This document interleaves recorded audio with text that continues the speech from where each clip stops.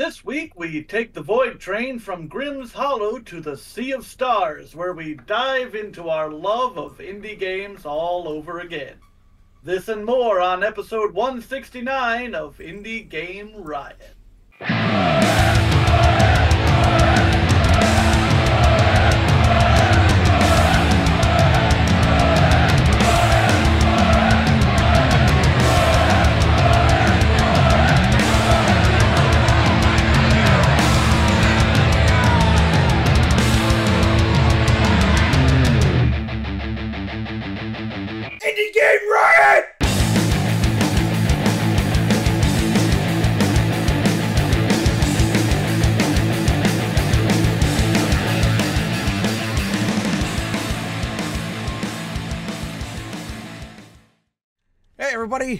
I'm back here yet again talking about indie games. I am Josh. I am with Rev and Vance, and I don't know if I'm pointing in the right directions, but you know who's who because there's words on the screen.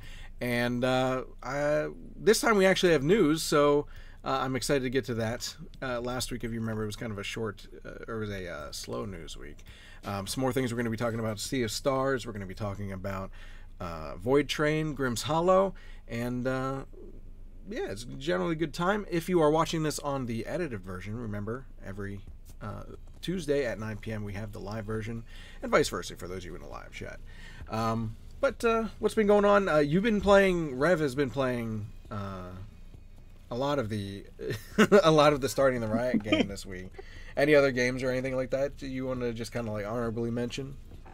Uh, I mean, in the in the indie sphere, no. I'm just gonna put it out. Like, I I sat down with the notes uh, to do my prep, and um, I was like, oh, cool. I'm gonna I'm gonna really start reading up on Sea Stars, and then I saw like three minutes of somebody's YouTube video of it, and I was like, oh, cool. This looks right up my alley and it's on PlayStation 5. So I bought it and I have been playing it. I'm, I've currently logged about 18 hours into it. And I got so into it that I have not looked at any of the other games we're talking about this week. I, like I, I literally uh, today being the first day back after the uh, the Labor Day extended weekend, um, I popped on, uh, did work from like six to two thirty, and then was like, "Oh, I'm gonna fire off an automated process here at two thirty." And oh, would you look at that? It's gonna take at least the rest of my day. And I just walked over to my couch and was playing uh, Sea of Stars for the for the rest of the day. Like I, I only stopped about 35 minutes ago so that I could like scarf down my my dinner and and grab a drink and and get ready for tonight. So I like say I, it's am impressive. hooked on this game. It's impressive because I- I, I, was a little late bringing the, the notes out just because this past week has been exhausting with my my daughter starting middle school now, and that's a whole thing. I know, but uh, but I, I'm I'm impressed that you even got that much in, uh, considering I put it out a day late. Yeah. I, I literally like like you you posted it and I was like, oh okay, I'll check it out. I started looking into it and I played for like two hours Saturday night and then I played all day Sunday and and just a couple hours today and I'm just like, yeah, no, it's great. I'm I'm excited. Other other than that, I've been I have not touched any other indie games in the last week. It that's that. So Fair enough. Uh, Vance, I know you've got um, some stuff going on with. Uh, we'll talk about it more in the news, but you got like a game jam coming up that you uh, that you had up. What about you? Anything else that you've been playing, working on, or whatever? Not really. Uh, just uh, you know, still working on that uh, Vagabond Starship game and playing Mechabellum. That's uh, been playing a lot of that. That's uh, quite a good game. I'm glad, you, and we'll follow up on that too in any news injection. But uh, for those of you that don't know, by the way, Vance um, made a series of uh, adventure games called Sir Typhul's Tale. That's the like the whole series. Um, so you should check that out on Steam if you haven't. Uh, very Yeah. very unique character to the game um, that uh, that I happen to voice in. So. Um, a little, a little biased. But- you, Josh? Other than your daughter being No, uh, me, yeah, just that's really it. That's why it's like the whole week has been uh, busy and hectic. just just because it's like the start of school and, and that especially is it's scary, you know, the middle school thing. Yeah. So It's a uh, Shark Tank. Yeah, I that's why I'm. I mean, she's such like a, a nice girl, and then I know she's coming. Mm-hmm. It's like this this like of all the elementary schools, all these kids just coming together and crashing into each other, and it's it's overwhelming because there's this big like you know there's multiple teachers now instead of one. Uh, so she, you know you have to manage your time getting to and from classes and I don't know how you I don't know how you deal with the fact that she's in middle school. Like she will always be that little munchkin toddler that I met like eight years ago. Yeah. Like like she's just locked permanently in my brain. The fact that she's like, Oh, I'm starting high school now. Like, what the mm-hmm. fuck? I know I know I I the, and I'm not even related to her. since she since she started middle school, I've been like confronting my own mortality more and more. like, like, oh my god, it's been so long. But uh, you know, you know what'll numb those feelings? What would that be? A nice fat indie news injection. Are you bored with the same old games? Yeah. Why, then give yourself an indie news injection. Thanks, Indie Games. This week on Indie News Injection, the very first thing we're going to be talking about is Stray. Remember last week on the show, we were talking about uh, indie games that are being turned into feature length films or things like that. And we're talking about what would make a good uh, TV show or movie. And it turns out that Stray is being turned into an animated uh, film. I don't know if it's feature length necessary. I didn't. Uh, I didn't parse that from the thing. I might, although it might be listed in there, because I, I, found it like right before the show and added it. Uh, but uh, I don't know. That's uh, I'm I'm kind of curious because like, what more can the animated version really bring to it? Like, I'm not saying it wouldn't be bad, or maybe they're just doing like a just. Oh, just I mean. I, it, it could be that, or it could be it, it could be um, you know, kind of like the uh, the the Riot Games uh, video where uh, it could it could be a bunch of little shorts uh, vignettes. It could also it could also be like a side additional like prequel or you know there's a there's a lot of places You know, it the- could go. The shorts thing actually wouldn't be too bad because when you think about it, if it especially if it takes place after the game, there's Yeah. spoiler alert for those who haven't played. So shut your ears for like ten seconds. uh, but right after the game, the ceiling opens up and they you know open up to the outside world, right? So they can then maybe center on the robots that are around town and see and obviously the cat's are very important because it's like the main player character but the the character or the uh, robots themselves are, are pretty important characters a few of them and they could kind of see like what goes on now that everything has happened since the game. And then the cat can kind of like sneak back down and kind of get involved in in shenanigans and things like that i think it'd be interesting It it could also it, it could also be a used as like a, a bridge between games. Like I don't know if uh, I don't know if they're going to be making a sequel. I I heard that they were considering it. Uh, don't quote me on that because it was a random Reddit comment. So, uh, but I had heard that Reddit's somebody had mentioned right. that always right, except for when it's wrong. You know, like the Boston Marathon thing. But um, anyways, uh, they somebody had mentioned that there was it, that it was under consideration potentially for a sequel. Um, so I could see this being something like the uh, the Animatrix, right, where it, like. It, it- it's it's little vignettes or even like a, a, full story to help like fill back in some of the lore or to bridge between the first and the second if they're going for that. Um, did, did you play stray Vance? I haven't. No. I, it looked interesting. I remember when it came out, but uh, I have not. Uh, I've not played it. it was it, it was like like of all of the games that I have played since Indie Game Riot went off air, um, uh, Stray is like the only one where I was like, oh my god, I wish that we were still doing the show uh, when it had when several it like came that, out. that that was definitely one where Well, I mean, well, we were on hiatus. I kind of went into AAA hell for a while because it was easier. um, I, like, How like shame on me. I know, I know, I know. But like, like Stray was one of the ones that like really jumped me and was like, was like, yeah, we we have to uh, we, we I've got to play this, you know. And, it doesn't help that it doesn't hurt that my uh, my my partner fell in love with the concept of uh, playing as a as a cat in a post-apocalyptic world. So, Um, well, speaking of things that we covered last week, uh, the next thing that we want to do is follow up on Mechabellum, and I think Vance, uh, having played a bunch of it, has something to say about that. Yeah, so I so I played it. I played it uh, at least a little bit every day since uh, our show last week. Um, I got it. I mean, it's really uh, cheap to buy. It's only like fifteen bucks. So, I mean, that's a couple beers at the bar these days.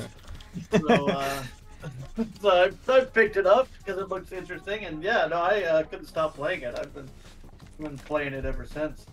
Um, Have you gotten good at it? I wouldn't say good. I'm starting to figure out what I'm doing. uh, basically, at this point, I just build a bunch of balls and wasps and swarm the enemy. It, it isn't a good strategy, but it- at the it is low a MMR, strategy. yeah, at the low MMR that I'm playing at, like people don't know how to deal with that swarm very effectively. But I'm sure that once I, if I were playing against actual good players, it's it seems to me like it's probably an easily countered strategy. How's the how's the uh, multiplayer experience, by the way? That's uh, Oh. multiplayer always Yeah, makes me nervous good. on any game, but is it? You know, there's not a lot of. Tro- Oh. I don't know if it even allows for trolling or anything like that. Oh yeah, in fact, there is chat during the game. So like um, a lot of games, like uh, MTG Arena, for example, they don't even allow chat during the game because they're afraid people will say bad things to each other. Hmm. But there's chat during the game. You can type to each other, and I have yet to run into an asshole. Interestingly enough, Maybe Uh, you're the yeah. asshole. Yeah, yeah. oh, that's probably that's probably the case. Damn it. yeah. so Uh, how does but I it mean- how does it how does it hold up mechanically? We we we talked about it last week, and we were we were kind of talking about some of the mechanics and and some of the concerns that we were having. What's what's your assessment on it? Um, I, I don't remember exactly what the concerns were. I think it was more like the- with the the concerns concerns I remember were more with had to do with the uh, the economy of it and the, and the uh, Mhm. microtransactions. Well, right now there's no economy. You pay 15 bucks and you have the whole game. Yeah. Um, Right. It's inter- it, It'll be interesting to see how they monetize it. I know they're planning on a uh, cosmetics store. Well, I mean, which is perfectly fine. Co- Cosmetics are something you can always just take or leave. So, Mhm. um, nothing, nothing ever wrong with that. and um, other than that, I'm not really sure how they're going to monetize it because they can't re- realistically charge for the units because the whole concept of the game is that everyone has access to all the units all the time. And Right. and you you can unlock a unit. Anybody can unlock any unit. Um, So like inherently, if- it's it's not like a pay to win or anything. Yeah. like that. yeah, that's like it's. I mean, it's very core to being able to play the game because if if units were locked, it's not like you would have a disadvantage. It would be like you literally can't play because Gotcha. uh, someone has played a unit that oh I don't I'm not able to play the uh, unit that counters that. I mean that it would be impossible. So that's certainly not what they're going to do. Um, I imagine so. You get four choices at the beginning of a specialist and a uh, two units combination. Um, what I suspect they might do is uh, cut that down to only two and then have like a premium subscription where you get all four. I've seen that done before, like in uh, Hearthstone Battlegrounds and uh, Hmm. Storybook Brawl, uh, where you only have access to two, but then if you buy a more premium subscription, then you have access to four. So they might do that. I don't know for sure if they will. Um, so yeah, I'm not even really sure how they plan on monetizing it. Um, Well, hopefully it's just the the- cosmetics, because that's like that's Yeah. like if you're gonna try and do some microtransactions, at least that, like you said, it's not like necessary for the game. That's what upsets me the most is when you lock Right. things behind a paywall. Uh, Yeah. You hear that, Twitter, X, whatever the fuck.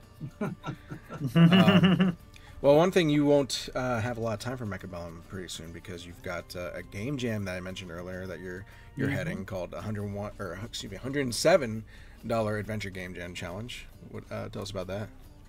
Yeah, so uh, this is the seventh year of it. It started with the $101 Adventure Game Challenge seven years ago, and now it is the $107 Adventure Game Challenge.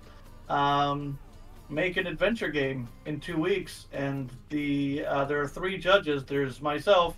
There uh, this year the judges change every year except me. I am a judge every year, and then I find two other judges who are uh, in the industry or surrounding the industry and that kind of thing. Um, and this Gosh. year it is. Uh, yeah, Josh No, was a judge. Josh I- was a judge one year. No, uh, was I? Yes, I believe you were. I was I was in the last uh, game jam that you. You did. were in it last year, but I think you were a judge the second year, or Maybe we I'm were. No, sure now you you mention it because of Indie Game Riot. Yeah, yeah. That yeah, was like I- yeah, you were a you were a judge. Now you don't even remember it. I see how much you think. no, no. I well, no. My mo- my memories are now of last time because of how stressful that was. yeah, it was like second year or something that you were a but judge. but now now that you mention it, yeah, I think yeah yeah, we did. Well, the other thing that's getting mixed up into me is when we do IRX Jam for for New Revolution Expo, and that's what I.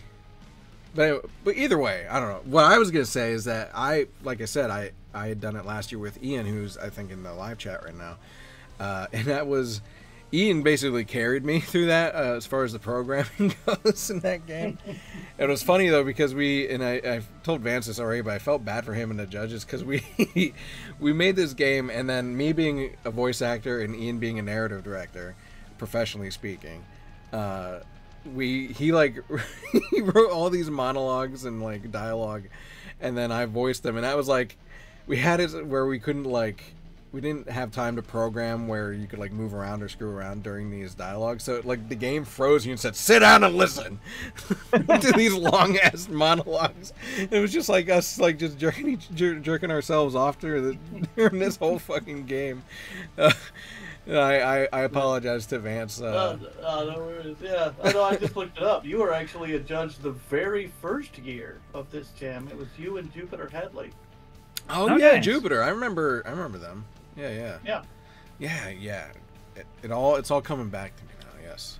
I was gonna say because 102 that was like towards the end, right before our hiatus, if that was the case. But I wouldn't mind doing it again next time. I know you already got your judges set, but that was fun. Uh, I, or I would just say in general, judging. Uh, I like be I like judging all these people. Judgy you like judging people, yeah. Yeah. But as I was gonna say, the judges this year are uh, David Alt, who is uh, just an amazing voice actor and also an actor who has been in every one of my games except the first one. Um, What character has does he play? voiced- Um, he plays a variety of characters. So so far, he has played different characters in every single game. He's incredibly versatile. He was the uh, the ghost in Poltergeist Treasure. He was like three characters in um, Leprechaun Shadow. In um, uh, Alien Function, he was Dan. Yeah, He was Dan. Um, yeah. yeah, Dan. uh, friend Dan in the Alien Function. Yeah, he's played a variety of, of different characters, and in the upcoming one, he is uh, becoming a main character for the first time, playing Oh, a character named Agastorican Losa. Congrats. Uh, yeah, no, he's and he's great. Uh, so A man to follow on the- Twitter for me, at least. I'll have to, I'll And, have to get uh, his contact. Then. is the amazing Marco Giorgini, who you may may be familiar with. He makes indie adventure games, uh, quite prolific um, purveyor of uh, um, indie adventure games, especially in the jam scene. So those Nice. are our two Yeah. judges this year. And uh, so yeah, go on over. Uh, Search on itch for $107 adventure game challenge if you want to jump on in. It's always Feel free to link it in chat, Vance, if you want to, and, uh, and of course the link will be in the any of the s- descriptions on the recorded version. Um, speaking of adventure games, by the way, while you're doing that, uh, Rev, if you want to talk about this, we have Yeah. something uh, The- special coming up. Yeah, there's a there's a hugiversary, um, like a, a warm damp hugiversary. Um, I was uh, I was I was checking out some some some past posts on social media again and realized that we're coming up on the eight year anniversary of Dropsy the Clown, one of the uh, one of my favorite games that we ever covered on any Indie Game Riot episode. Um, and uh, if you haven't checked it out, I highly recommend you go back. You can check out our interview with uh, Jay Tholen, the, the developer, musician, and artist of Dropsy the Clown. Um, and uh, episode one, something or other, two, whatever. It's in our history. you can search for Dropsy the Clown in Indie Game Riot. He's been on the show uh, like two or three times. Uh, yeah, we. I got it. We. Go ahead. Go ahead.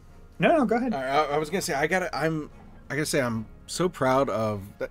Like you, you, you mentioned one of your favorite games we ever covered, and one of the things that makes Dropsy special to me is that it's. I'm not like saying that we like blew his career up because he's a talented dude and he's been on. you know, he's he had he was on he had Dropsy on Devolvers. You know, he was with them for for that game and yep. everything like that. But like the timing of it was that that he came on our show. We talked about Dropsy a couple times, and we got to before he because he's he's pretty successful now with especially with yeah. Hypnospace Outlaw, and he's got another thing coming up. And we got to we just got to see him and Dropsy and just his whole dev adventure grow. Or, and yeah. it makes me all warm and fuzzy inside to see that, just like a warm, damp hug from Dropsy the Clown. I gotta. So I'm, I'm just proud. I'm proud of that, and I'm proud of Jay. Good job, Jay. Uh, yeah, no, c- congratulations. It it still it like it still sits in my memory. I still reference it on occasion, uh, and I still recommend it um, uh, to this day. So go check out Dropsy the Clown. It's it's been out for almost eight years. Um, and uh, when you get to the part where you can't figure out the puzzle, I promise you, uh, posts have been made about how to solve like there's one part where it just like it you just lose the plot entirely. Everybody on release everybody was like i'm stuck here. And jay was like trying to draw pins but it just wasn't quite working. And then finally somebody was like oh this is what happens. Okay this is what you need and then you can solve it. Um well, what's an adventure what's a point and click adventure without a little bit of moon logic you know what i mean? So right? That's a good yeah uh, um, so okay. we're gonna we're we're gonna shorten the discussion on this one. Um, so part part two of today's indie news injection. Uh, a couple of weeks ago, uh, several independent game studios had their games removed from Steam.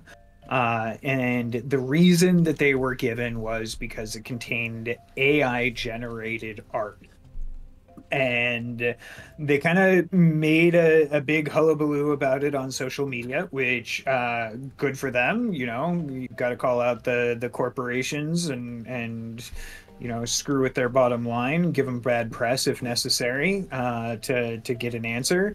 Uh, and then uh, earlier this week steam uh, valve finally put out a um, a, a, release statement um, clarifying that it wasn't because it had AI generated art, it's that the copyright for that AI generated art didn't belong to the game studio that put it into their game. Now, I didn't have a whole lot of time to like really dive in and is it like is it based on the training model art or is it the actual art itself? like wh- how are they defining that?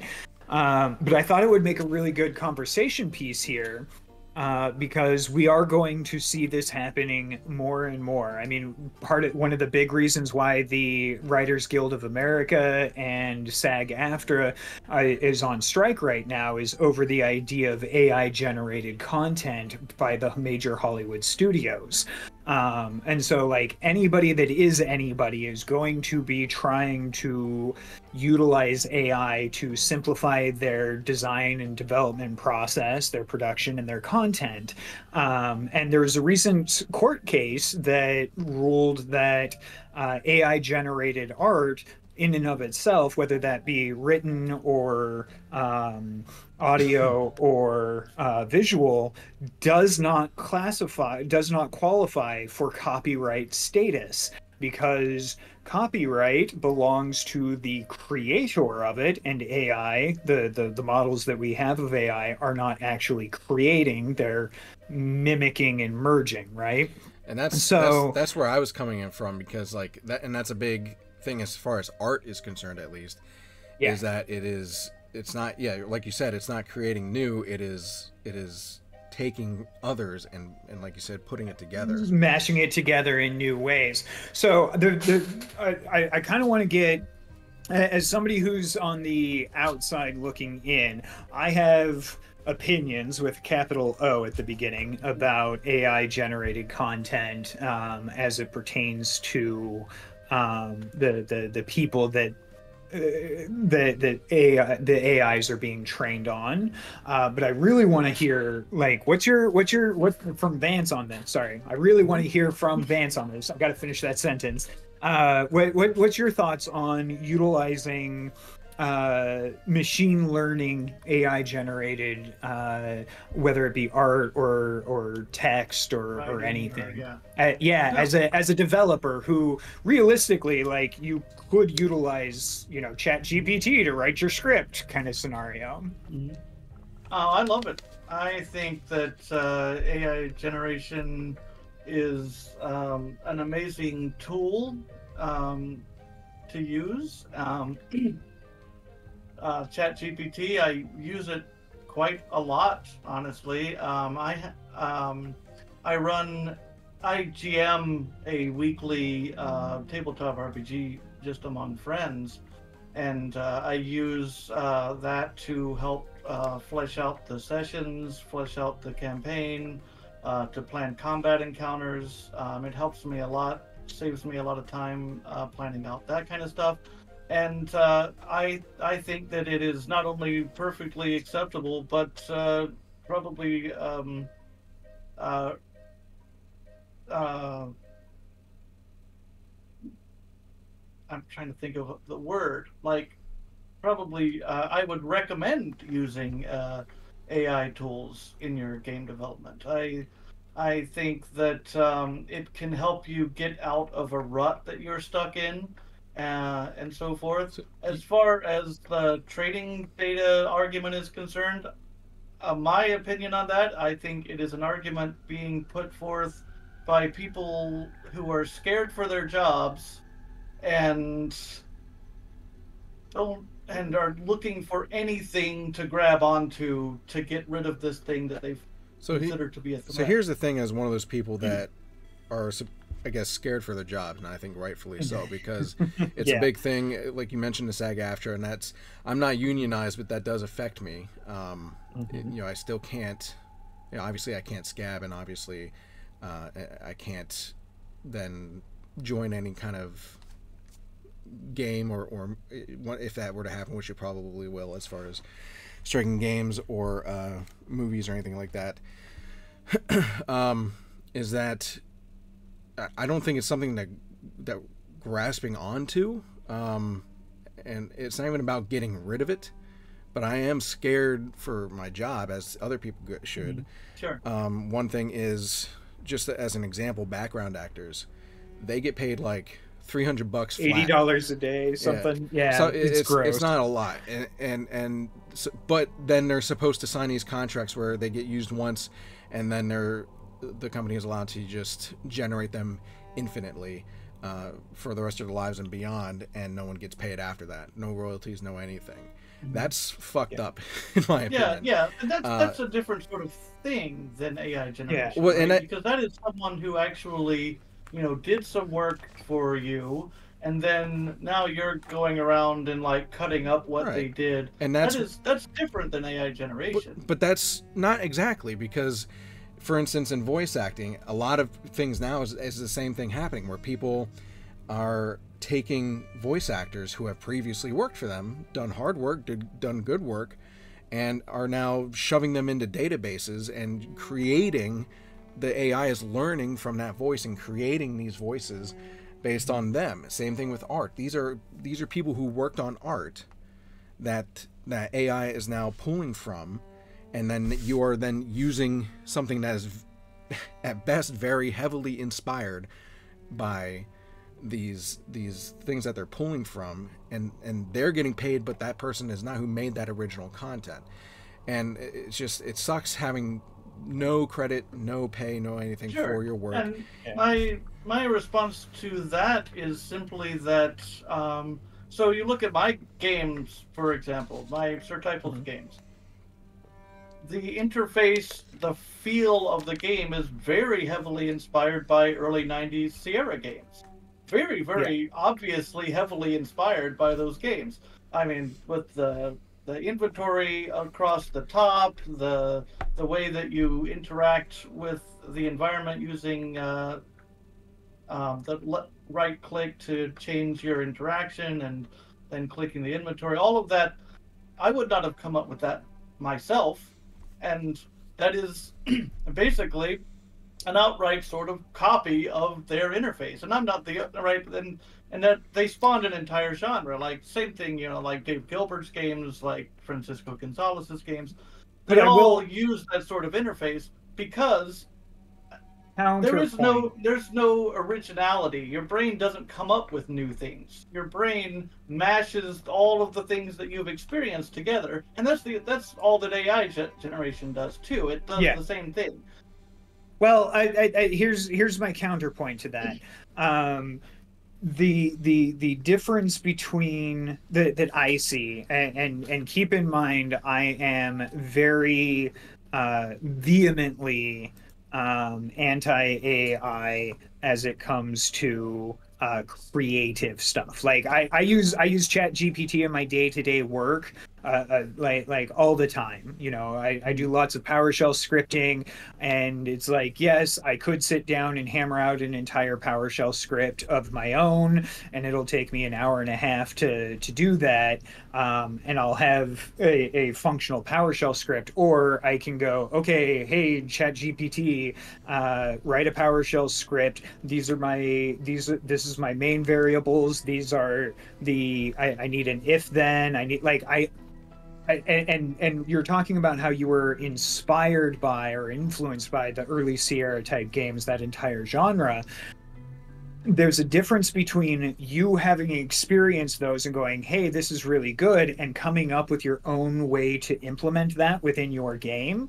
Because I guarantee you, if we look at how eh, if we look at how your code base is for the implementation of just that inventory piece, I'm using that as the example um if, if we if we look at that piece there and and then say you know your code is different from their code not not Oh, just sure. because of that but like your implementation your layering your your your your your influence by that you're going yeah this is a really good structure for something but it- it's kind of like how to phrase it, it's kind of like how d&d you can you part of the reason why third party stuff works for d&d is because you can't copyright mechanics of games. I can't copyright the fact that point and click exists right.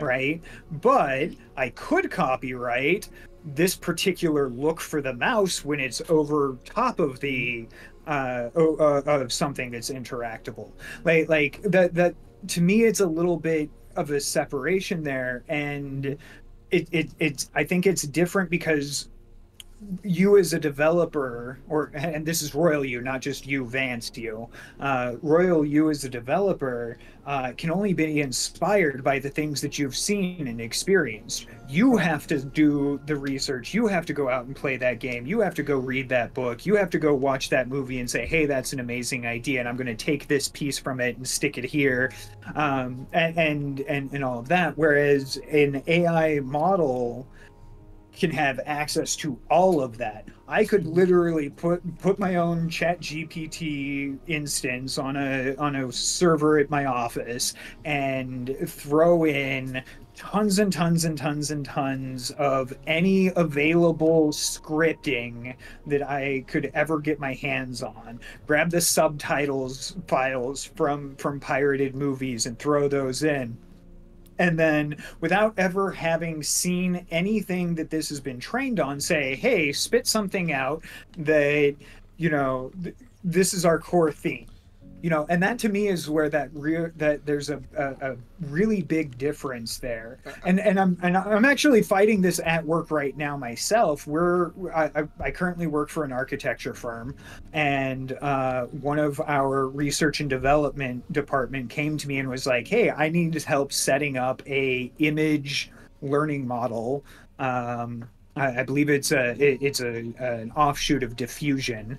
Um, and we're using this to create uh, our architectural pre-plans right? So we go like we we we, we give it a, a, a prompt. We want a open field with a 16 story building. They give it a rough little sketch to just kind of get the idea. We feed that into it as a jpeg and say okay give us like a thousand different versions of this. And because diffusion has been trained on so many artists you know architectural drawings it can go it, it just spits them out like this. And and in the course of an hour we have a thousand different versions and they can go through and we're looking at it and we click on this one and go oh we really like that. That captures kind of the essence of what we're doing. And we put that into our proposal to our prospective client um, and, and we're now we're now directly profiting off of all, all of these other people's work because that image plays a very big role in that potential client signing us. And and so like i'm struggling at, a, at an ethical level because i i don't believe you should be able to do that with other people's work like like we have an entire team of artists uh, of, of artists whose sole job is to make these drawings currently. And we've added all of their drawings into our diffusion instance as well. So there is some of our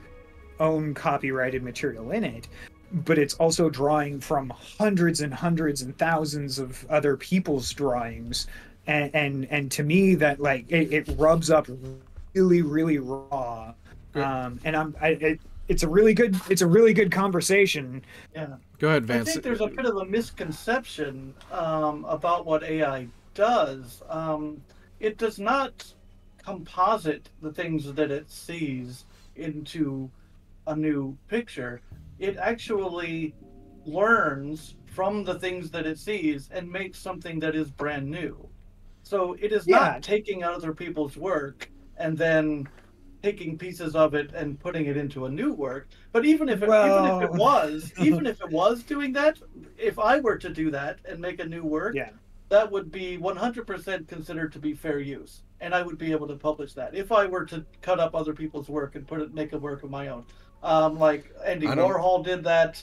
Um, a bunch of a bunch of notable artists have done that, and it was perfectly fine. You're talking about like, Um, are you talking about like, that. sorry, the Andy Warhol thing. You're talking about like how he put like Coke cans, so Coke is technically, you know, Coke owner of those images. And Because I mean, yeah, that's more of a statement piece than it is like him claiming exactly. that's But his they art. were sure, sure, but they were other people's designs. Other people designed the Campbell's soup can, no and i all see he you're did saying was paint a Campbell's soup can with the exact same design as a Campbell's soup can.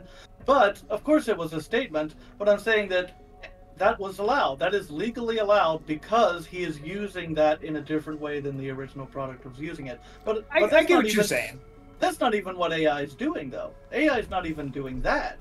AI is creating something that is completely brand new. It is doing exactly what I do when I make a game.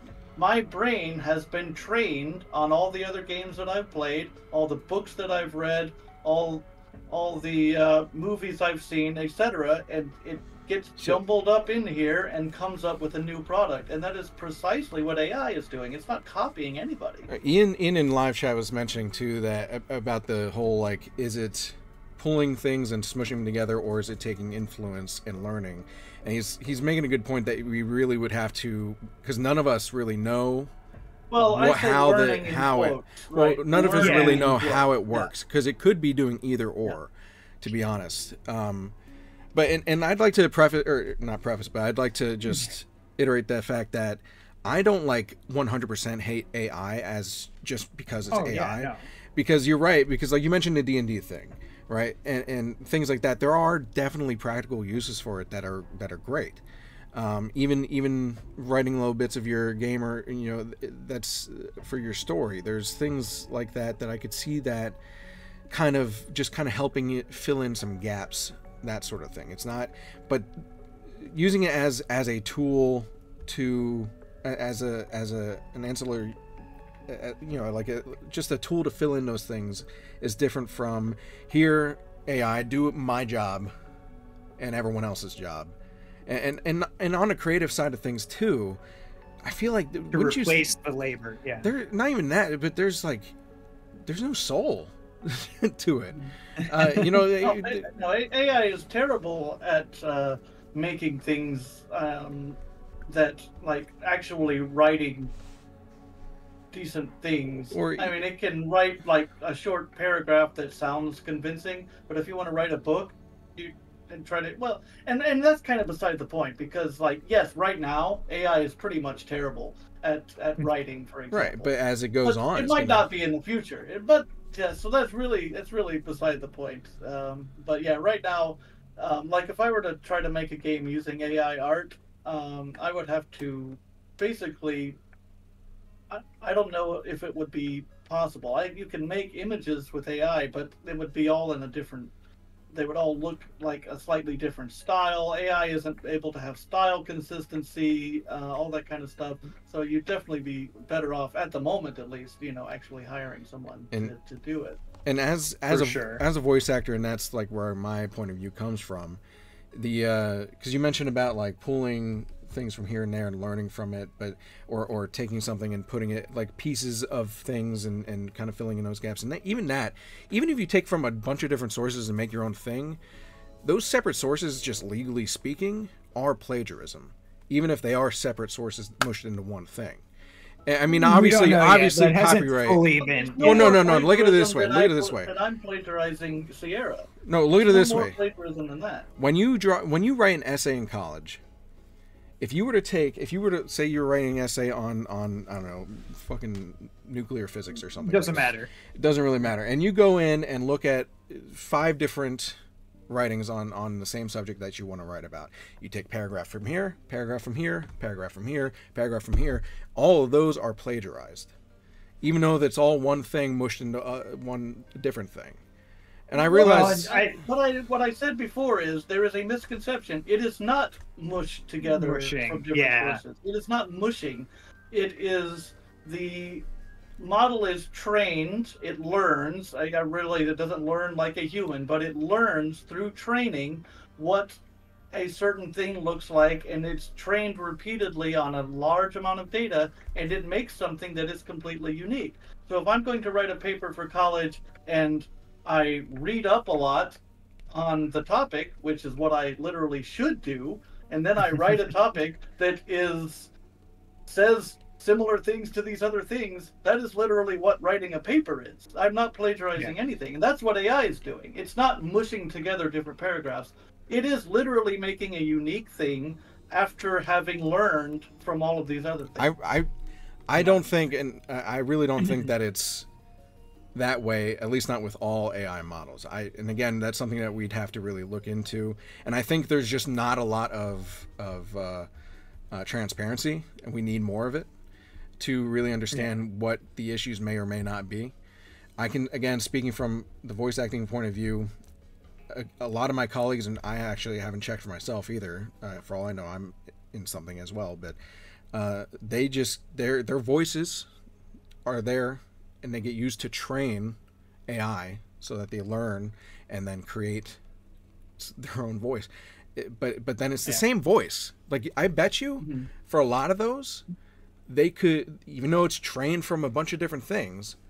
I bet you, if you were to layer that over top of, like in Adobe or something like that, you were to layer the audio files over each other, you, you, you would barely be able to tell a difference. I bet they'd be very similar, if not exactly the same.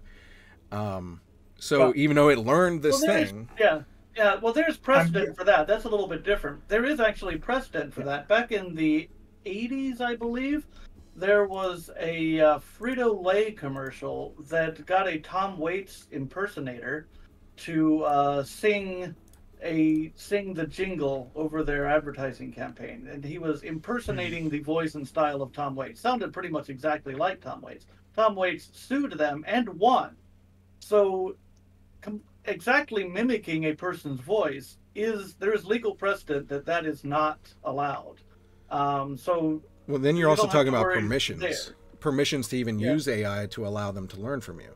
And that's the other big thing for for acting and and voiceover is that like no one gave these companies permission to shove them through their algorithm to be to use them as a learning tool for this AI. Um, and and and again, there's another big issue too is being that there's just not enough there's there's not enough precedent um, for a lot of these copyright laws, and that's been the case for fucking decades, really, since the Ever. internet. Um, when it comes to copyright, they're so outdated. Um, but but me personally, I don't want anyone using my voice to to learn Teach a computer Anything. to yeah. without my permission, which no one's gonna have. I'm gonna be honest. And you. because, remuneration. and because because like Vance said, I am and scared for my job. I am scared for my job. Um, Yeah. And, I mean, and so- unfortunately, it's one of those things where when you put something out in the world, I put things out in the world. I put my music out in the world. I put my games out in the world. When you put something out in the world, people, I mean, people will hear it and they will learn from it, right? I, I mean, I don't, I didn't, I don't have Sierra's permission to have learned from their games uh, how to make adventure games, right? I don't, I don't have LucasArts Nice. permission. I don't have uh, in, Infocom's permission to have learned from their games how to make games. And that- you don't need permission to learn from things that exist in the world. That's another. That's another thing Well, that I'm has gonna- do I'm with gonna- copyright. So I just one I'm more thing. gonna- One more thing. So Okay. that's another thing when it comes to copyright law is is because I remember talking about this in like some business classes I took back in high school. There, s- for instance, using the term Google when it comes to searching something as as a verb mm-hmm. Yep. technically is a copyright infringement but there's a Yep. there's a loophole in the law that says once your once your copyright becomes like so popularized Ubiquitous. ubiquitous thank you that's the word then It's, like Scotch tape or, or, or kleenex Velcro. or any, yeah exactly or it's any of these Kleenex or Q-tips. Any of those have become so commonplace then you that lose now, despite the fact that those are copyrighted singular items, Q-tip is literally a cotton-tipped applicator. And I- and like that is could- that is what the actual thing is. But the brand name being Q-tip became so ubiquitous that now you can't be Right. like, oh, they're they're marketing Q-tips. Yeah, no, I get what you're saying. and and I think I'm and gonna I think I'm gonna say this. Oh, go ahead. Uh, well, to Last finish to finish it to finish that off, and I think when you're talking about like the Sierra UI or something like that, I think it kind of falls into that. And and the thing is, is that you're not like going into a Sierra game, copy pasting their UI into your game. You're putting your own touches on it.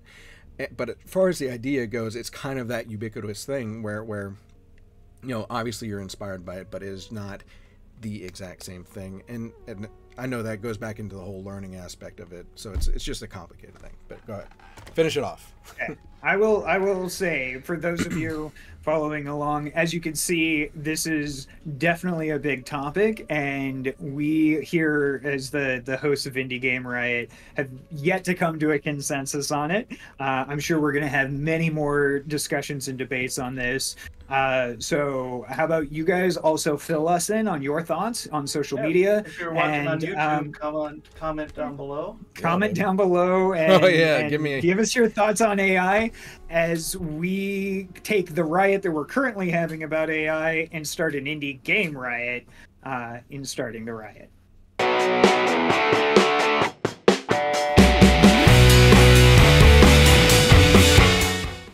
This week on Starting the Riot, we're talking Sea of Stars. This game is awesome. That's all I'm going to need to say. The end. Uh, the end. Moving on. Peep show. No, I'm just kidding. Um, as you might have heard in my intro, uh, this game uh, kind of hooked me right from the get go. I watched about uh, three minutes of somebody's YouTube video on it. I read half of one of the reviews on Steam, and then immediately said, screw this, I'm going to play it. I got it on my PS5, and I have been playing it nonstop ever since. Like, like I, I, I quit work early so I could get an extra couple of hours in. Uh, like, like this game has hooked me. Um, if you are familiar at all with the uh, Chrono Trigger, Chrono, uh, the Chrono Trigger uh, RPG. This is very reminiscent of. you could clearly tell they took some inspiration from that. Um, it is uh, the, the the art style, as you can see, is is is very pixelated RPG, but it is also extremely cute. It's got art like you would not believe.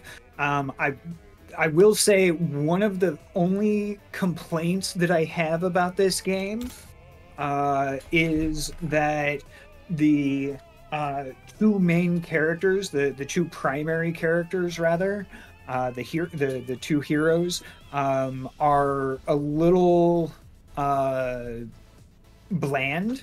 However, I have the counter to that. Um, they're interchangeable by intention. Like like that is that is one of the thing. At the start of the game, you get to pick which one is the party of leader, but it doesn't affect gameplay. It doesn't affect any of the plot outline or anything like that. And you can change that uh, within the game without having any detriment. Um, it's literally just like which which, which sprite is the one that you're leading One, around. one is named Um, Milk, the other one is named Toast. Yeah, basically. Um, like they do have character, but it is a shared character. Uh, so the story, at least as far as I have un- uncovered so far, at like 18 hours played, um, some time ago, a the the big bad evil guy, um, you know, sent out these uh, these devourers and seeded the world with them, and every so often, uh, one of them will uh, you know, gain enough power through its little stuff that it starts to really start affecting the world. And there is uh, a a faction um, called the uh, the the Children of the Solstice, and they are trained as Sun and Moon warriors uh, specifically uh, to counter these devourers. And the and the start of uh, the game is literally you going through their training and becoming, you know, the certified children of solstice and starting on your first adventure to kill one of the last known creations of the big bad evil guy, the Fleshmancer. Um, and I like like the my, my, my favorite character out of all of them thus far is Garl. He's your uh, childhood friend that you've been separated from for like 10 years as you went through your training. And he is so. He, he's he's like a hopeless optimist, a hopeless romantic. Like he is just so sweet and and gregarious. Disgusting. And, uh, just like I, I it's saccharine at times, but I love him to death. And like the, I'm, I'm literally just uh, other than the overarching story, which I'm I've been getting hints of as I've been playing through. Um, I most of the time that I'm playing this is just to see what happens with Garl, um, and uh, because he doesn't have any superpowers really. Like like that's one of the things. Like like after you complete your training, you go on your excuse me you go on your your your certification mission to be blessed by you know the great mist and uh garl comes with you and the mist is like what the hell? I've never like no com nobody that isn't one of these children of the solstice has ever volunteered to go on one of these before so i don't know what to do but sure go forward with them for now and we'll figure it out later. And then he just tells them he's, he's like look uh we think that your your energy and your your heart and the the love that you bring to this may be the key to unlock something down the road um the the it- mechanically it, it's a pretty straightforward rpg right you're you're gonna wander around you're gonna collect your chests and your hidden chests It's and like- there's little puzzles and stuff It's like JRPG style, but a little bit, a little bit of. uh It's like CRPG up until like you actually get into the battle, and then it turns into JRPG style. And then right? it's- Turn-based. Well, it, it, it is it is a turn-based RPG, but mechanically, uh, there's a little bonus. If, if you like your if you like your your shit a little bit more difficult, um, there is a completely optional timing mechanic that is involved in both offense and defense. Um, so you can just click, you know, hey, hit attack, and they hit with their sword or their stick or whatever. Um, and, and, and but if you have your timing right and you hit the action button just as the the thing impacts, you do a double strike and it gives you bonus damage and it like like other effects can happen. Uh, same with your spell casting. You can uh, I'm I'm playing as the as as the kid the the boy character uh, is the one that I chose as the leader of the party. Oh, he no. has the power of sun, and so he he like concentrates a little sun ball in his in, in his hand, and it has like four five stages. And you press X and hold, and however much charge you have is how much damage it does. Uh, other variables not included. Uh, but if you release on the fourth one, that's the perfect one right? And it's and it's like half the time that the other two stages are and if you go past that it goes down one stage and auto fires. Um so so there's some there there's some mechanical advantage to it. Same with defense. If you if you block just as the impact or just as the effect hits you you get reduced damage. Uh, and I've been, I've been told that that can play a very major role in some of the uh, of the encounters but this game is really witty. It's it's well written. There's obviously like anything with tons of text. Um, there's gonna be mistakes. I've seen the word of of um, spelled ov several times. Um, and that's not like it's a big deal because as a dyslexic person i do that all the time. I'm like oh i'm, I'm typing out what i'm going to be saying and i'm saying of and that's spelled ov like it's dumb but like it's there I love, I love, love, love some of the wit that is in this game. Um, like, like there and and references. There, there's some subtle or not so subtle references spread throughout the game. Um, one of the first areas that you go to is a bunch of moles that work as stonemasons slash quarry diggers and one of them has a attack. You you end up fighting him as part of the plot. Um, one of them has an attack called shovel might and he pulls out a shovel off of his back and jumps up into the air and then dive bombs onto you just like shovel knight does in the game shovel knight. And i was like oh that's so cute. Well, speaking, Um, speaking of speaking of like those uh, like inspirations to the game, Yeah. It, it it calls itself like a retro RPG basically. What what yeah other games do you think are pulled into this? Like I, I kind of get Chrono Trigger vibes a little bit. Yeah, no, I, I, I mentioned that. Like, it, you can tell it takes a lot of inspiration from Chrono Trigger, but uh, if you're watching the video, you can kind of see it, it, it is it, it is a a modern version of like every old school JRPG ever. If you play Dragon Warrior, uh, which was the U.S. name for it back in the the, the late '80s, early '90s, um, if you played the uh, the the first couple of Final Fantasies, um, it, it it very clearly has some inspiration from that entire kind of pull into the genre.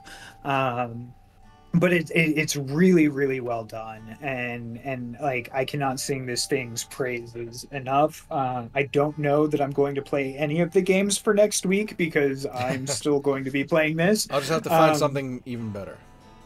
Even better yeah um you know and and some of the things are we cover this game and Mechanim, Mechabellum again because both of you and I are. just stuck there yeah. um a, a couple of a, a couple of really fun moments that uh, I've had experiencing this.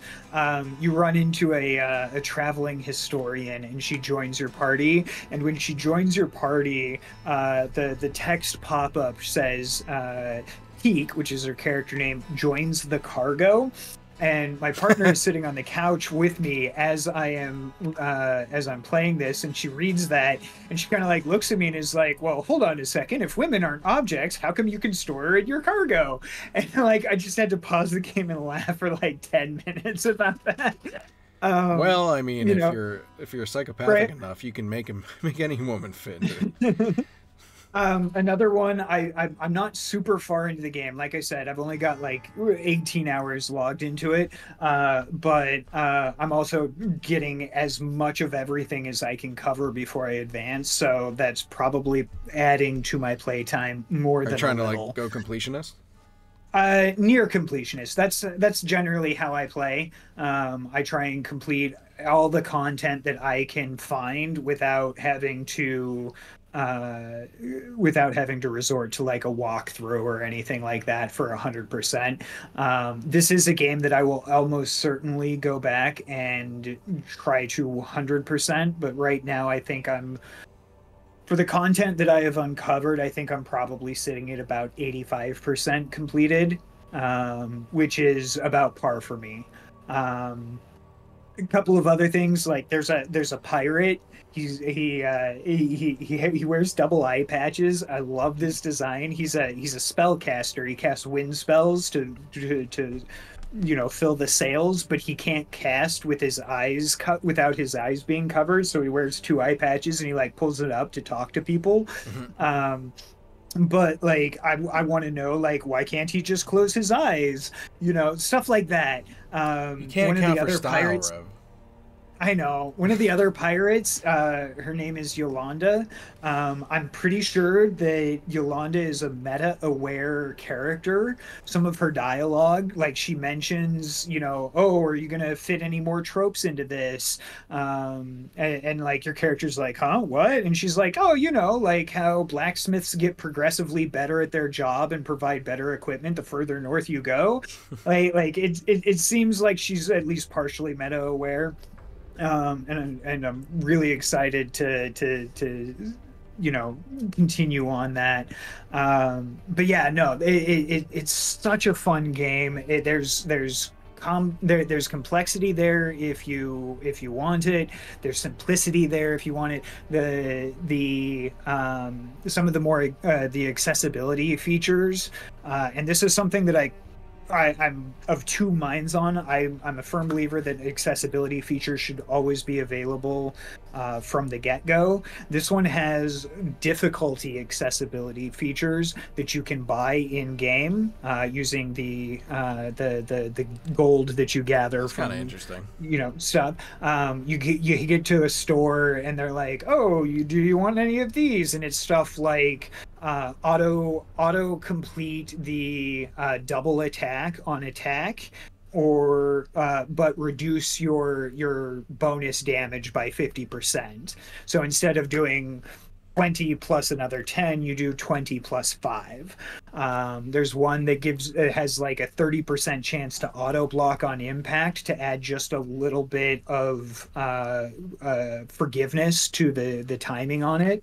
Um, so yeah no it, like like there's there, there's ones that reduce the difficulty give you double the hit points and also refill your health after every combat. So is that is that um, specifically uh accessibility? Like is it labeled as such or is it like because it, it, sounds almost um, like like uh like a, an upgrade like it, it, it's yeah in in game they're called relics and you can buy them. Some of them uh, add difficulty as well. I haven't encountered any of those because like i said i'm still really early on. I'm in the third region i think. I just hit the uh the the mansion with the uh on on wraith island for anybody that's played the game.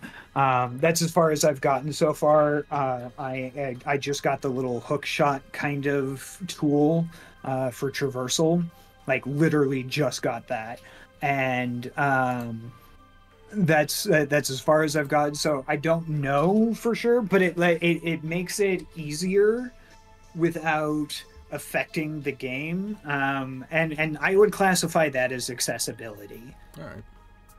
Like, like that, that that would definitely fall under that. There there isn't a colorblind mode. I, I I know that the characters. I had to ask my partner. They are um, they are color coded, uh, but there's other visual representations as to their differences as well. There's a lot of status effects and things like that. Like, oh, it's so good. Like, like I just I can't talk about this enough. Um, and yet, unfortunately, I'm going to have to. yeah. yeah. so uh, so yeah, Sea of Stars. It's on it's on PC. It's on Xbox, I believe. It's on PlayStation Five. Um, if you subscribe to PlayStation Plus, uh, and you do for for whatever reason you want to test it out before you do it, um, it is on Game Pass. You can you can download and play it for free as part of your subscription there. I highly, but I'm I'm telling you right now, buy the game. It, it, it it's worth it. I, have I've already gotten my 30 35 dollars worth, and I'm in the third area. They've got a demo on Steam. Uh, yeah, Sabotage Studio, self self published, self developed, and uh, it's amazing. And it's already banging out some sales, man. So congrats to those guys. Um, well, with all that said, I uh, transition. Peep show.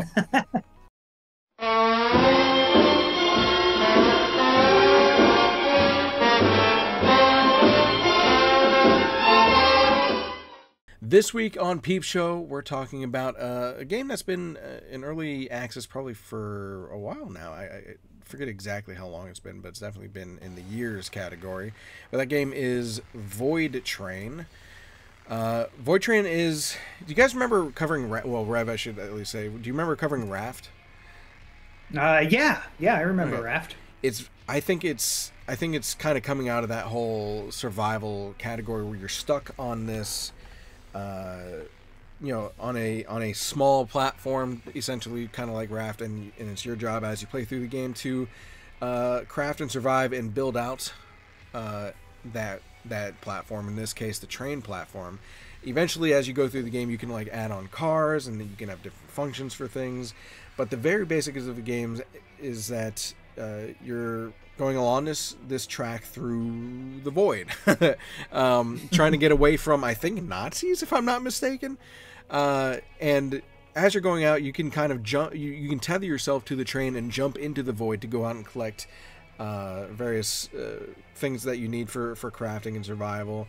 There's even areas where you can uh, eventually get these this you know equipment upgrades where you can actually get uh, unattach yourself from the platform and go into these areas out into the void where uh, there's like some puzzle platforming uh, aspects to it and, and story aspects to it as well. There's even some combat as you get to various, I guess, train stations um, where you're, I, because I, I believe said Nazis follow you in, if I'm again if I'm not mistaken, but because uh, that's further into the story and and a lot has changed since the last I played, um, but there is some combat there where you can uh, shoot and, and, be killed by these things, on top of uh, various, I guess, monsters or animals, or whatever you want to call them, uh, flying around. Void, void. sharks. yeah, there's some there's some pretty kind of scary uh, enemies out in the void as well uh, that can attack your you and your train. There's also some cute ones. You you kind of have to. There's you see in the gameplay every once in a while. There's these. You can kind of see some right now in the background where there's these uh, little I don't know void fish or something like that. They're kind of cute, but you have to kill them for for like things like fat and stuff like that for resources. It's kind of sad. Um, but there's also like even these pets. Uh, if I go to their, they have a roadmap on Steam. Um, let me see. Mm-hmm. I'm gonna pull it up real quick so I can remember the name of like the the pet mechanic, I guess that you have in there. They're called uh, Rofleemos. Rofleemo. R O F L E E M O. Yeah. Roffelmos. Oh. but they're uh, they're pretty cute, and you can have them as pets on on your train. Uh, you can collect like different variants, I guess. And I think they also uh, create some some different things that you can use for crafting uh, as well. Resources is the word I was trying to go for.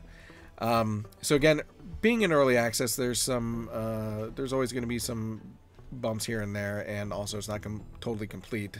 Right now, you can only, story-wise, you can only play through the prologue and chapter one. Um, there's only some upgrades and different upgrades to your, they have modular weapons. Um, there are some outposts, and apparently, uh, this is new from last time I played. They have enemy trains now. Um, I wonder how that Ooh. works because there's only one train. I assume I, I assume that you would scavenge it, but whatever. Well, it seems like they're they're like fully functional with enemies on them. Like I don't know. Yeah, but no, I yeah. mean like go go kill the enemy, take what you need. Oh, I need I, have got armor now. yeah. Um, And another new thing since last I played, they have uh, path modifiers. They call them prophecies. So I guess that there are uh, choice, uh, like consequential uh, type type of choices they have to make in there. Um, some things they do have planned, and I appreciate this by the way from devs. If you have a, an early access game, having a roadmap is really nice for someone who is kind of on the edge uh, when wanting to buy it, because that way they can see what they're coming, you know, what's coming next. I will say some of the speaking of that, some of the reviews or the more recent reviews on Steam say they're mixed. And it's people like complaining about things like UI and, and some like quality of life stuff. And I'm like, first of all, it's early access again. I don't know. I don't. You've only got like less than a third of the game. What are you Yeah. bitching I, about? I don't. I don't understand why. Like, why bother giving reviews on something you know is incomplete? Like, you bought it knowing that. Um, but What anyway, I saw on the reviews, um, when I looked through them, it looked like a lot of people were complaining about the crafting system being Mm-hmm. overly tedious and repetitive.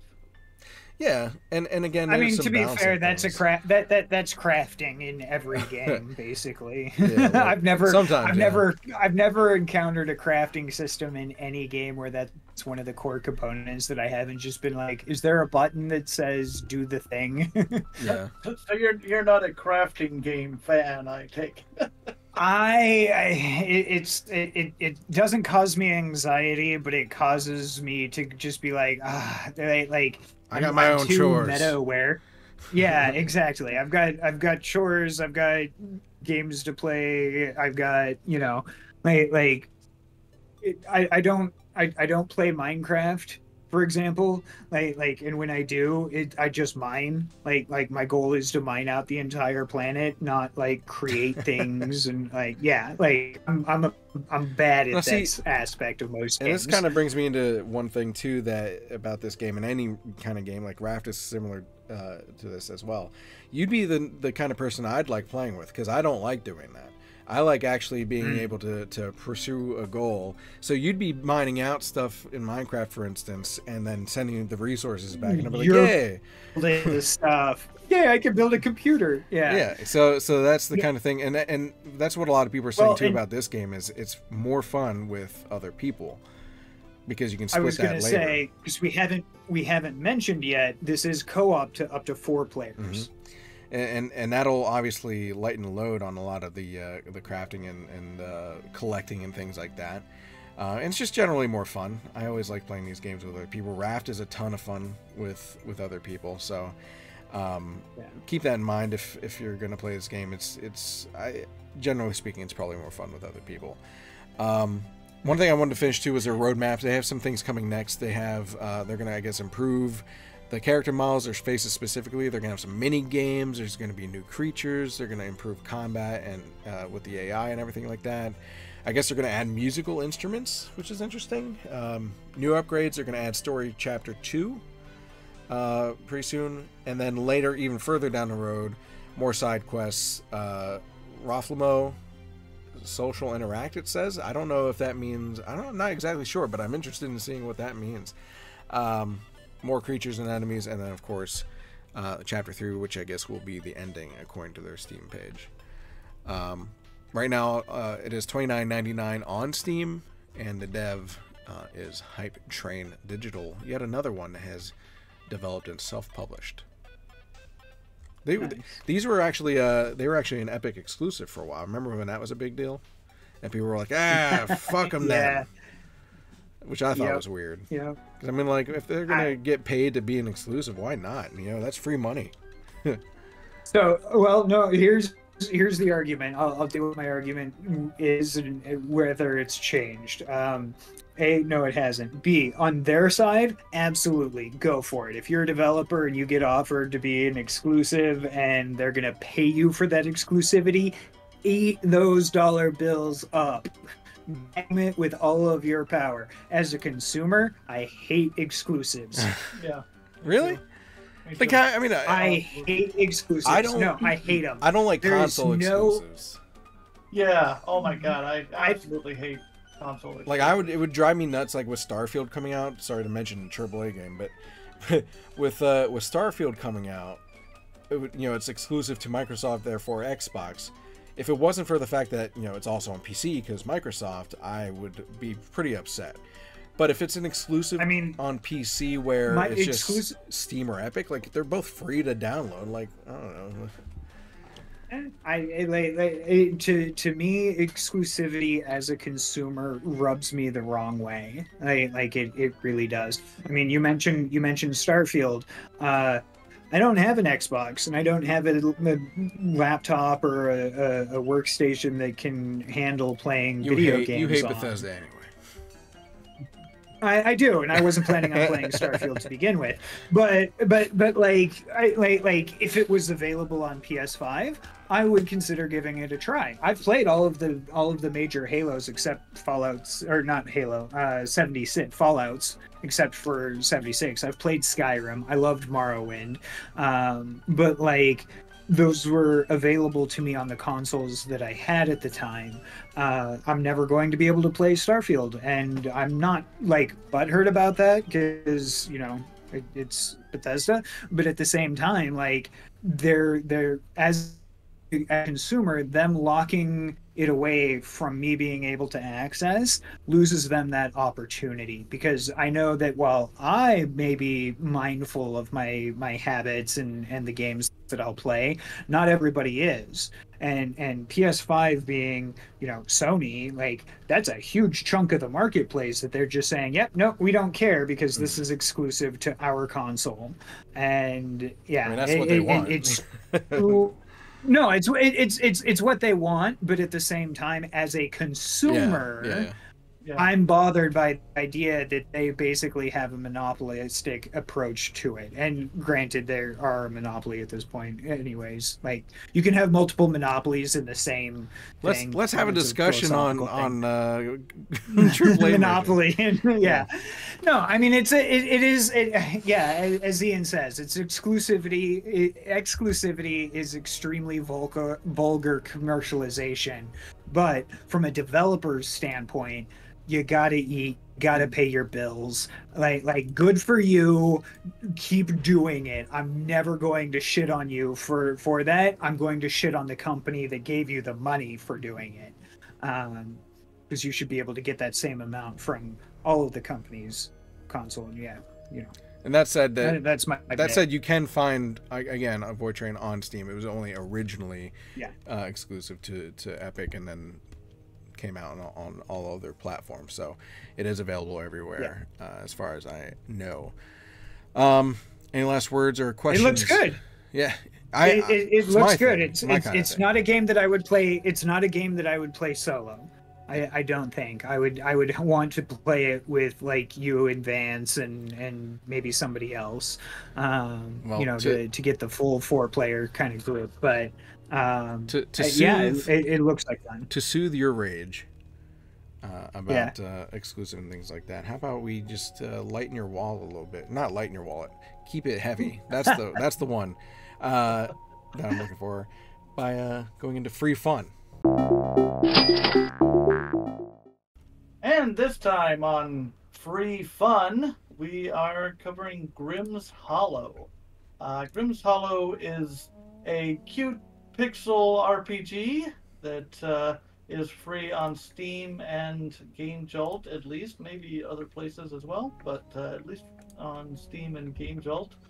Um, they say that uh, it is inspired by a longing for a short and sweet RPG experience. I will say that I was not able to get this game to run. Um, I downloaded it and uh, To note from Game not- Jolt though, not. Steam. yeah, yeah. No, I got it. I got it from Game Jolt. It probably runs from Steam, I would guess. Um, I did not know it was on Steam.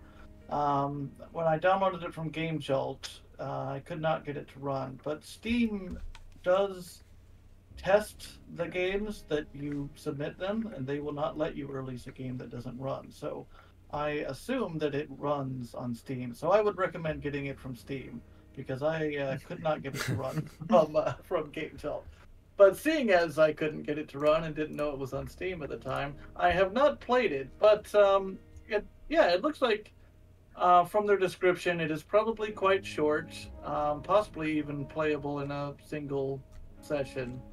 Um, and uh, it looks like uh, a cute little game. It says it says the, the you walk around eating food, fighting ghosts. Uh, some of the reviews say that uh, the combat system is surprisingly complex for a short free game, and uh, it is worth noting that on Steam it has an overwhelmingly positive review. That is rare to see that a game has an overwhelmingly positive rating. There's always some assholes that down downrate games, no matter what it is. But this one is 98%. overwhelmingly positive. Yeah, that I mean, I I don't remember the last time I saw an overwhelmingly positive on a game. Do you remember? On a, on a free game, no. Um, yeah. No. I mean, I've seen some overwhelmingly positive like paid for games, but not on a free game, no. Um, But t- to be fair, with, with the free, the base game is free. There is a DLC that you can purchase called Grimm's Hollow Pocket Goods for seven ninety nine. So Right. if you enjoy the free game, I highly suggest uh, supporting Yeah. those and getting that. So I get I, I get some I get some under Undertale vibes uh, on this one. It looks like uh, the combat system uh, is is uh, inspired by that at, at least to some level, um, or like the uh, the the Final Fantasy X limit breaks. You know that that that kind of like oh you do your thing and then you can make it better by. Uh, doing your button inputs or solving your little puzzle thing. Um, and uh, it looks like also defensively they have that as well. But it, what? It, okay, what is it with us covering games that have like offensive and defensive, like make things better for you mechanics today? There's two games back to back. Yeah, yeah I Um, mentioned that before. It seemed like we're on an RPG kick today. We got two games that are fairly similar. This one and Oh uh, yeah, we should kept it themed. My bad. I, Yeah. I had to find an early access one. Had to Um, find a first-person shooter. There are multiple No, endings kidding, to I'm this just game, though. You were you were talking about you were talking about playtime because I think it's a few hour uh, playtime, uh, not with yeah, it's about two included. hours, give or take. But if you want to do completionist, there is there are multiple endings. oh, Um, so so I mean, there's there's some replay value there, and, and again for for a free game, you know, I mean that, uh, that that's a lot of that's a lot of because I saw some complaints actually, uh, at least on Game Jolt, about people like, oh, I wish there were more to it. And like, oh, oh, first of all, the fact that you wish there were more means that was a good game, so stop fucking complaining. But second, Right. second of all, free game, man. Like they they spend how much time, and I think they actually are. They, I looked at their dev blog too, and they like consistently allow others to use their assets, you know, with permission, um, in their in other people's games, which is really nice of them, and and very uh, you know, shows the com- camaraderie within the indie indie game industry. So I always appreciate that as well. Um, Ghost Hunter, by the way, is the developer who, uh, of course, self-published that. Um, would you so knowing that it's on Steam for free, will you go ahead and uh, give it another go as far as as playing it goes, and then if you like Yeah. it, would you purchase the Pocket Wow. Goods DLC? Well, uh, it depends on how much I like it. So I'll go ahead and uh, download it right now, and maybe uh, we'll do a follow up next week. There you go. We can do a Vance follow up. That'll be like a little mini segment. oh, Yeah. Just Vance's games. you know, nobody else. Yeah. I, I think one of my favorite, uh, one of the favorite comments that I've seen about this game is that they are upset at the developer, the the, the person reviewing it, um, is upset at the developer because they're having played through the game. They really should have charged money for it to get go because of its quality. They, they, they were like, I, I, I really enjoy playing free games, but I love free games that are too good to be free games. How dare you not take my money? That take my Yeah. money. meme. Yeah. Yeah. Uh, and you mentioned you mentioned too about like the about the like the um, uh, Undertale aesthetic. I can kind of see it. I mean, obviously there's the whole R- RPG aspect of it, but uh, Yeah. Undertale kind of had that monochromatic, not completely, but it was mostly monochromatic uh, style. And this has that too, with like every everything's like a shade of purple, which I realize you don't see, but uh, but but everything's like a shade of purple in this game. Um, so I, I kind of get that, and, and and there's just the whole the sprites and everything like that is is similarly drawn Yeah, uh, yeah. to The sprites Undertale as are well. definitely reminiscent of that. Yeah. I wonder if they were inspired because this came out in I believe 2020. Undertale came out 2019. 2019, so I bet this was inspired by that. Wouldn't be surprised if we uh, asked 2019, them. really? That recently? I thought Undertale was older than that. 2019. No, no, this this game came out Oh, in, Oh, in in 2019, yeah. Gotcha, okay. But either way, Undertale came out Yeah. first. Is my point. point, and uh, 2015 for Undertale. yeah, so Yeah. I, I would imagine that this was heavily inspired by that. Uh, so there you have it. Any last words on uh, Grimm's Hollow? Not Go yet. check it out, guys. Till I There play it. Well, with that said, and everything gone and behind us, and uh, friendships may have been forged or broken during the AI. That AI conversation, man. No. Just I'm, I'm, is gonna get off this and be like, "Those stupid bastards." those commies. Actually, actually, the, the AI thing would actually be the commie thing, wouldn't it? Because it's like sharing everything. But uh, but anyway, uh, I, I'm kidding, of course. But I, thank you, everyone, once again for for coming to the show. I appreciate all the support that you've given uh, over the past few months since we've come back, and I hope to see you uh, as we continue forward.